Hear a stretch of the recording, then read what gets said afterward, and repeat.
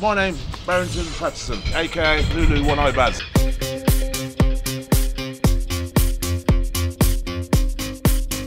People from outside Birmingham who don't know about the Zulus, they think it's a black thing.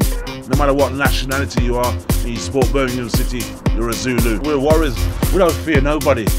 He'll go up against anyone, anywhere, anytime. He loves the adrenaline rush that only a fist connecting to flesh can provide. Barrington is still Barrington. You can't really tame a lion, can you? This is Zulu territory.